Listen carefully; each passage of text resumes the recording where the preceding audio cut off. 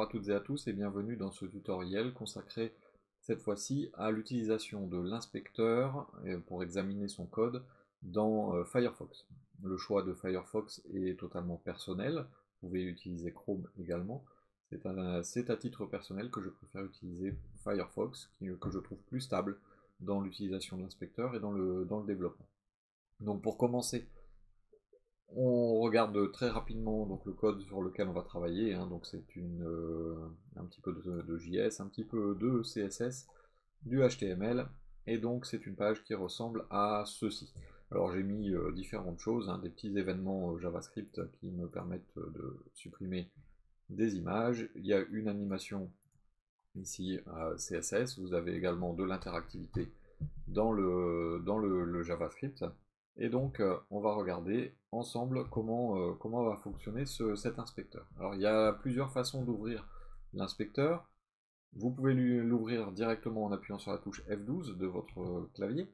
Vous pouvez également utiliser CTRL majuscule I, qui fait la même chose, qui l'ouvre ou qui le ferme. Et si vous souhaitez voir un, élément euh, en particulier sur votre page, vous pouvez également directement faire un clic droit sur l'élément et vous avez l'option examiner l'élément qui va apparaître.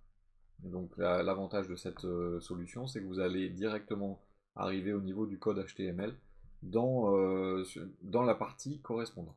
Alors tout ce que je vois ici, euh, ce que je vais faire, je vais masquer la console. vous avez plein de, plein de petites options. Hein. Donc ce que je commence par voir au niveau de mon onglet inspecteur, c'est mon code HTML. Donc j'ai ici en haut le code HTML qui correspond au code de ma page. Et si je survole chacun des éléments, ça va me permettre directement de voir apparaître la partie correspondante en surbrillance.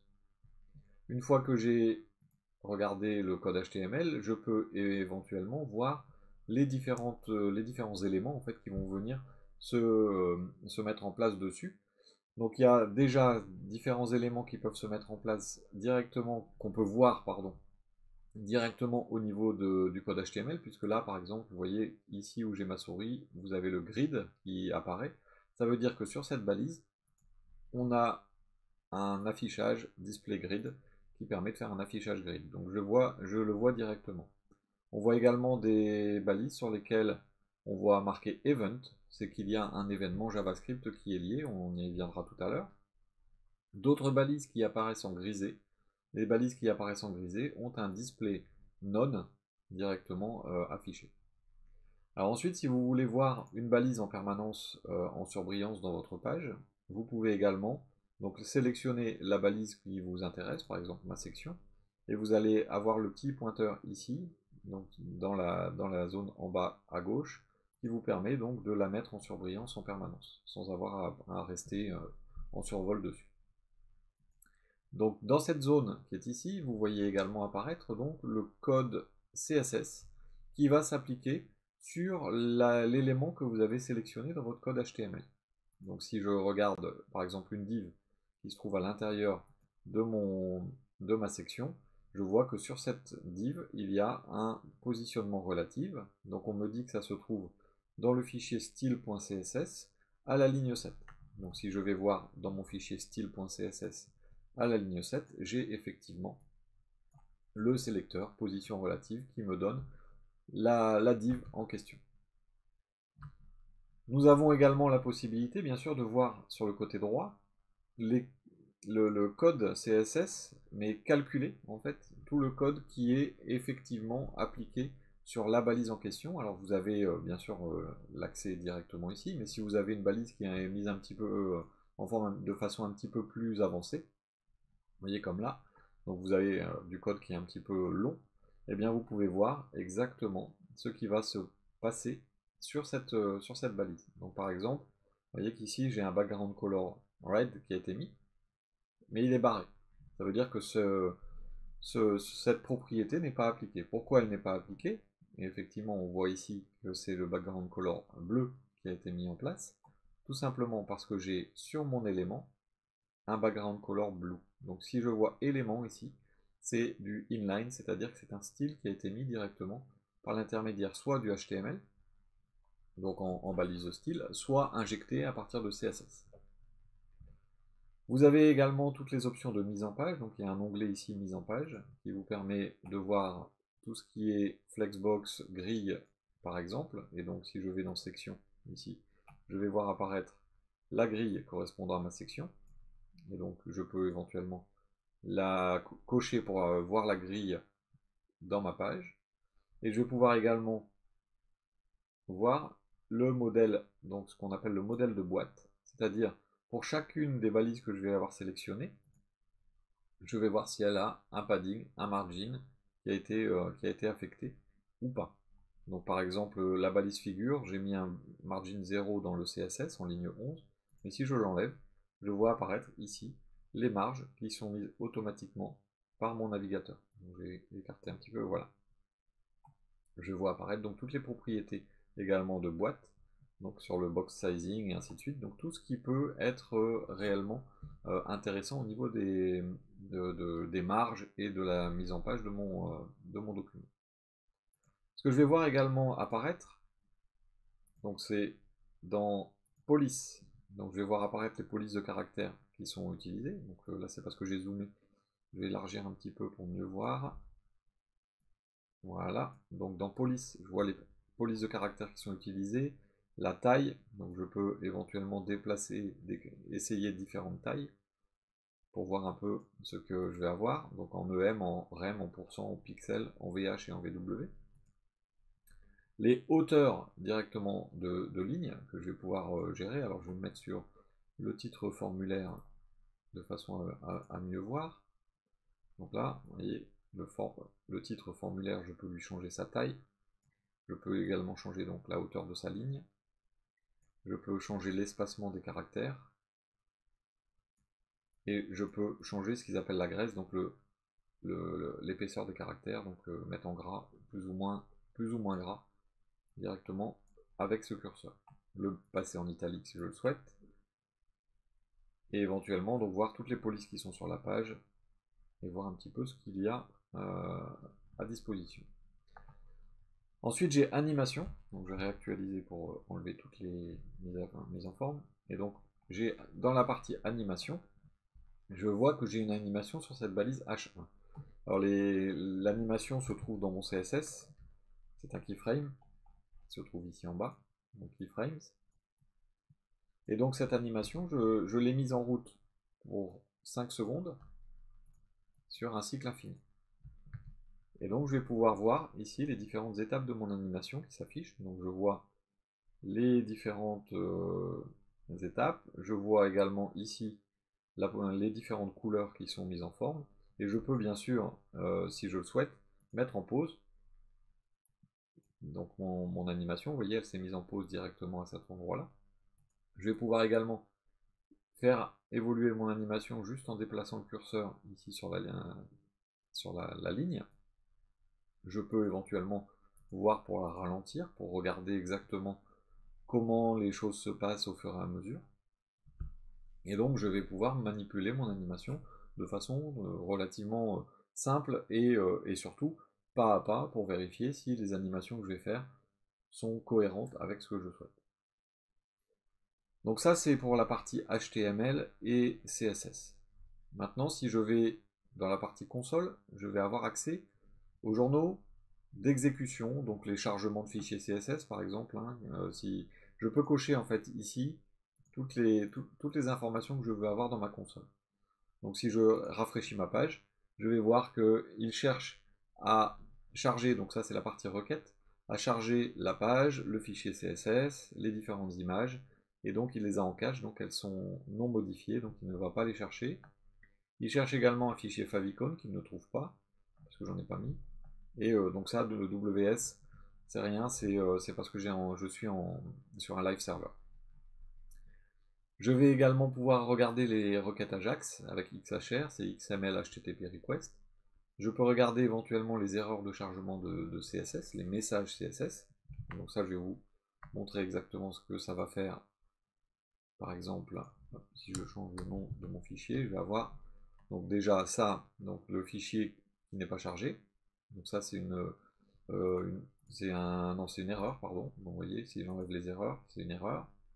Et donc au niveau CSS ce seront plutôt les, propriétés qui ne sont pas attendues ou qui ne sont pas supportées qui pourraient, qui pourraient apparaître dedans. Et ensuite, donc, erreur pour les messages d'erreur, avertissement pour les messages d'avertissement, journaux pour les logs éventuels des informations et les informations de débogage. Donc tout ça, c'est pour la gestion d'erreurs. Mais vous pouvez bien sûr ici exécuter également du, JavaScript lui-même.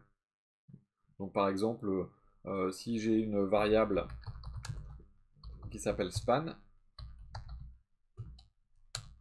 voilà, donc euh, là j'ai une erreur parce qu'il ne la connaît pas, mais euh, si je fais console log, c'est un console log donc de, de JavaScript, hein. ça vous permet d'exécuter du JavaScript. Donc par exemple vous faites un let nombre égale 5. Voilà, et euh, console log nombre. vous avez effectivement votre 5 qui, euh, qui revient. Donc c'est vraiment l'exécution du JavaScript en lui-même. Mais si vous voulez euh, regarder le JavaScript tel que vous l'avez écrit, eh bien c'est dans l'onglet Debugger. Donc si vous avez Chrome, c'est source. Dans cet onglet Debugger, je vais avoir accès au code source de mon JavaScript. Donc ça c'est la structure de mon, de mon fichier, de mon dossier, pardon. Donc j'ai mon fichier script.js. Ici j'ai tout le code que j'ai écrit. Et donc je vais pouvoir à tout moment demander, mettre un point d'arrêt par exemple. Donc ça je vais enlever, mettre un point d'arrêt euh, sur mon code en disant quand tu arrives à cette ligne là, tu t'arrêtes. Donc là si je recharge ma, comment, ma, page, voyez, je suis arrêté à la ligne 20, il m'attend, c'est marqué, mis en pause par un point d'arrêt. Et là, ça va être ici en haut à gauche, sur le X qui est ici, le premier X rouge, euh, qui, va changer en fait, parce que là, c'est une instruction qui va passer son background color à blue. Et donc, j'ai quatre boutons ici. Le bouton qui est euh, tout à fait à gauche qui me permet de remettre en lecture, et de dire, voilà, je vais euh, remettre euh, en lecture et tu t'arrêtes au, prochain point d'arrêt ici, il y en a un. Ici, je vais avancer juste d'une ligne. Là, je vais entrer dans une fonction. Là, je vais ressortir d'une fonction. Donc, si je prends cette flèche arrondie, je vais avancer juste d'une ligne. Et vous voyez que le, fond est apparu en bleu maintenant. La ligne suivante est sélectionnée. Et donc là, on va écrire Y à la place de X. Et donc, si j'avance encore d'un pas, je vais écrire Y. Et ainsi de suite, je vais pouvoir avancer pas à pas sur les différentes euh, lignes que j'ai écrites. Je vais pouvoir également regarder dans une boucle euh, si, euh, par exemple, là, voilà, j'ai mon span qui est à 0 et j'ai span qui contient un certain nombre de balises de span, en l'occurrence, de ma page. Et eh bien, span étant à 0, c'est la première qui va être pointée. Et j'ai la possibilité également de regarder un petit peu les variables au fur et à mesure de l'évolution de mon code. Donc en sélectionnant de cette façon-là et en faisant un clic droit, je peux ajouter ce qu'on appelle une expression espionne. Je vais demander à ce qu'il m'affiche tout le temps euh, la valeur de, de, cette expression. Et je l'ai ici qui est apparu. Et donc là, si je pointe, j'ai effectivement en haut à gauche de mon écran le Y qui va, venir se sélectionner. Si j'avance d'un cran, voilà, maintenant c'est la deuxième span. Et je vais pouvoir comme ça visiter ma boucle à tout moment pour regarder directement les, euh, différents éléments que je vais avoir euh, à disposition. Donc j'ai aussi une mention euh, mise en pause qui est ici, hein, qui me dit que c'est actuellement en train de m'attendre, j'ai la même flèche directement disponible à cet endroit-là. Donc ça, euh, vous, avez pas mal d'informations dedans. Hein. Il, faut, euh, il faut avancer un petit peu sur le... Enfin, il faut euh, fouiller un petit peu dedans pour regarder tout ce qui peut être fait. Mais globalement, ça vous permet de mettre des points d'arrêt, de débugger votre code, de regarder si vous avez des exceptions, de savoir exactement quelles sont toutes les variables actuellement disponibles. Donc on a les, les, fonctions ici, et dans Windows Global, on va avoir éventuellement des variables complémentaires. Donc là, j'en ai pas encore. Euh, et dans onload, qui est la fonction dans laquelle je me trouve, ben, vous allez avoir toutes les variables qui sont actuellement déclarées. Euh, donc voilà, ensuite, ce que vous avez également euh, à disposition, c'est la partie réseau. Donc la partie réseau, c'est tout ce qui est chargement en fait de, votre page. Hein. C'est les fichiers qui sont euh, demandés, qui sont appelés. Est-ce qu'ils sont trouvés ou pas? Donc vous avez l'état ici. Donc 304, c'est que c'est en cache. Le 101, donc là c'est un WebSocket, donc on ne regarde pas spécialement puisque c'est notre serveur. Et le 404, c'est euh, une, page non trouvée ou une icône non trouvée en l'occurrence pour celle-là. Vous avez également donc euh, l'éditeur de style, l'éditeur de style qui vous donne accès directement à votre fichier euh, CSS. Donc vous avez la possibilité de le modifier hein, pour, voir un petit peu comment, comment ça va se comporter. vous pouvez directement euh, enregistrer, le, enfin modifier les, fichiers en live pour voir exactement comment ça se passe. Ensuite, dans la flèche, euh, j'ai également performance qui va vous permettre de lancer un enregistrement de performance de votre page pour voir un petit peu s'il y a des, euh, moments où ça ralentit, ou ça accélère, pour voir les, les, performances, en, l'occurrence, comme euh, son nom l'indique, de, la page. Et donc là, on vous dit tout ce qui a été fait pendant l'enregistrement de 12 secondes qui a eu lieu. Vous avez ensuite l'onglet mémoire. Donc l'onglet mémoire qui vous permet de capturer un, instantané de votre mémoire. Qu'est-ce qu'il y a dedans? Euh, Vous avez donc les, différents éléments euh, qui sont présents dans votre mémoire. Vous pouvez éventuellement donc regarder les comment les tailles mémoire qui sont, euh, qui sont utilisées. Donc ça, je vous laisserai également fouiller. Dans stockage, vous allez avoir accès aux différents cookies que vous avez sur lesquels, enfin, qui sont stockés pardon, sur votre disque pour le site en question. Les stockages de sessions, si jamais vous avez des, des, sessions enfin des stockages qui sont faits dans la session elle-même. Le cache, là c'est IndexDB, c'est pour avoir une base de données euh, locale. Et le stockage local, donc c'est euh, si vous faites euh, du local storage en, JavaScript. Et enfin, accessibilité. Si on active les fonctionnalités d'accessibilité, ça nous permet de faire des vérifications en fait d'accessibilité pour chacun des, éléments en fait de notre, de notre formulaire. Donc euh, si par exemple je regarde ici et je fais inspecter les propriétés d'accessibilité, ça va me dire euh, s'il y a des choses à, modifier en fait, hein, les vérifications qui, sont, qui seront effectuées. Donc là j'ai une, euh, une, mention ici. Les éléments cliquables doivent pouvoir obtenir le, focus et, et, avoir une sémantique interactive. Donc ça c'est si jamais, donc là je n'ai pas mis la gestion de la touche tabulation pour euh, accéder aux, différents éléments. Vous pouvez bien sûr le faire sur le document complet, hein, la, fonctionnalité d'accessibilité. Et donc vous pouvez également, euh, par exemple, le faire sur le bouton formulaire, enfin pas le bouton, le titre. Voilà, et donc euh, il vous donnera exactement les différentes choses à, manipuler. Donc ça c'est pour faire la vérification d'accessibilité. Ensuite, le petit bouton qui est ici, alors pour les utilisateurs de, Chrome, il est plutôt en haut à droite.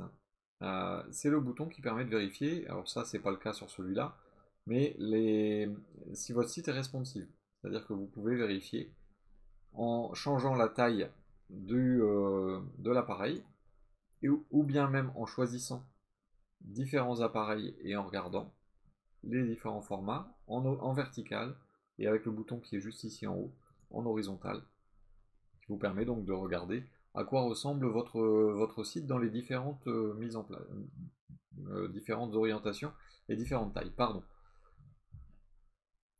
Vous avez également, donc si je reviens sur, euh, sur l'inspecteur, vous avez également le petit bouton, donc quand vous êtes sur l'inspecteur, le petit bouton avec la flèche qui est ici, qui vous permet d'aller directement visiter votre page.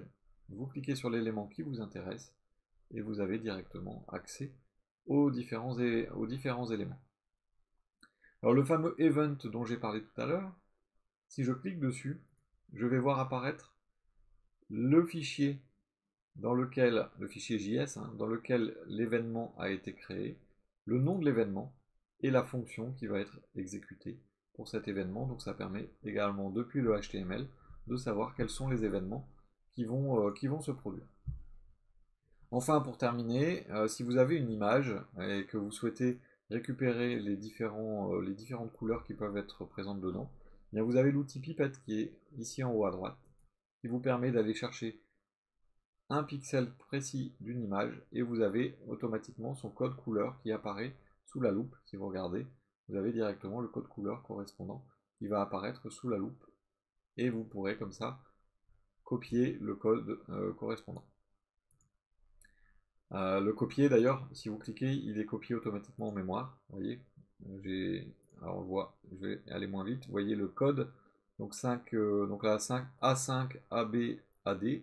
Si je clique, Maintenant, ça marque copier. Et ça veut dire que j'ai copié la couleur en question dans, euh, dans mon, presse-papier. Je peux aller coller directement à l'intérieur de mon CSS par exemple.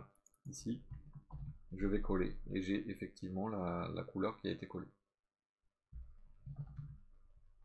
Voilà, donc c'était euh, une petite introduction très rapide, mais euh, qui m'a été demandée au fonctionnement donc, de l'inspecteur sur, sur Firefox.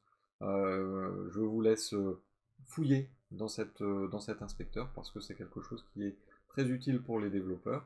Je vous remercie de votre attention et je vous dis à bientôt.